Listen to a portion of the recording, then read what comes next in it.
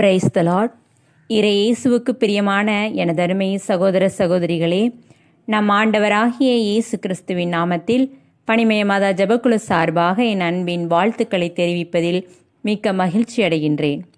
இன்று ஆண்டவர் நம்முடன் சீராக்கின் ஞான நூல் ஒன்றாம் அதிகாரம் இருபத்தி மூன்றாம் வசனத்தின் மூலமாக பேசுகின்றார்.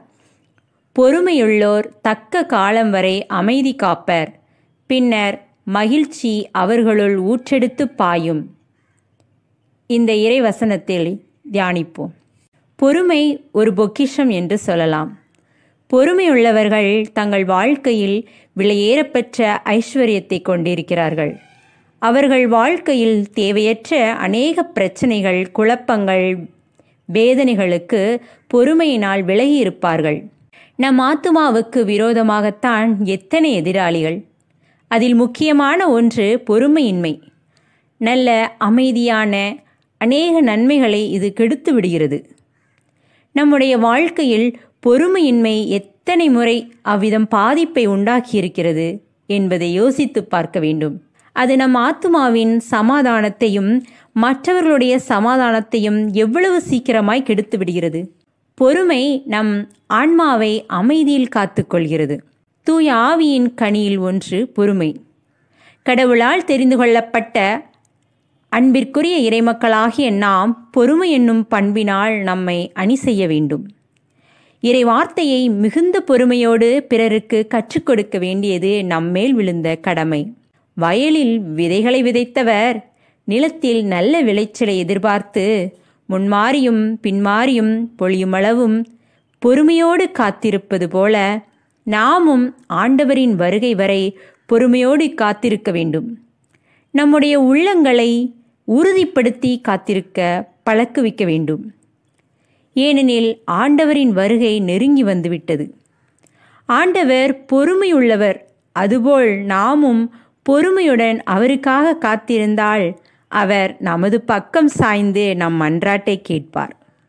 பொறுமையின்றி எளிதில் கோபம் கொள்பவர்கள் மதிகேடானதை செய்து தம் மடமையை வெளிப்படுத்துவார்கள் சண்டையை மூட்டி விடுவார்கள் ஆனால் பொறுமையுள்ளவர்களோ விவேகத்துடன் நடக்கும் மெய் அறிவாளர்கள் ஆவர்.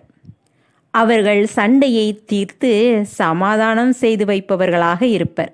விழிப்பாயிருந்து நம் இருதயத்தை காத்து கொண்டால் அதனின்று பிறக்கும் சொற்கள் இனிமையானவையாக நமக்கும் பிறருக்கும் மகிழ்ச்சியை தரக்கூடியவையாக இருக்கும். அதிகாலையில் பொறுமையோடு ஆண்டவருக்காக காத்திருந்து ஜெபிக்கிற ஜெபத்தை கேட்டு ஆண்டவர் அந்த நாள் முழுவதும் நமக்கும் நம்மை காண்கிறவர்களுக்கும் ஆசிர்வாதத்தை கொண்டு வரும் நன்மையான வார்த்தையினால் நம் வாயை நிரப்புவார்.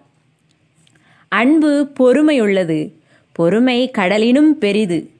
ஆண்டவருக்காக பணி செய்ய முன்வரும் ஒவ்வொருவரும் சோதனைகளை எதிர்கொள்ள முன்னேற்பாடு செய்து கொள்ள வேண்டும்.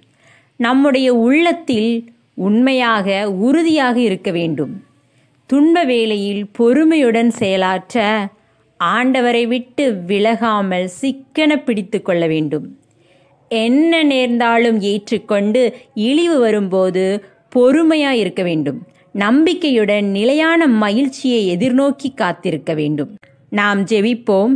எங்களை அதிகமாக நேசித்து வழிநடத்தும் எங்கள் அன்பு தந்தையே அமைதியின் அரசரே நாங்கள் ஒவ்வொருவரும் ஆவியின் கனியாகிய பொறுமை என்னும் நல்ல பண்புடையவர்களாக வாழவும்.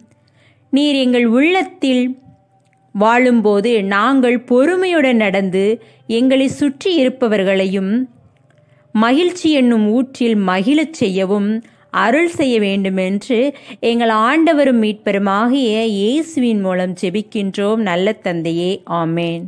காட் பிளஸ் யூ இந்த நாள் உங்களுக்கு பொறுமையுடன் நடந்து மகிழ்ச்சியை அனுபவிக்கும் நாளாக அமைய வாழ்த்துக்கள்.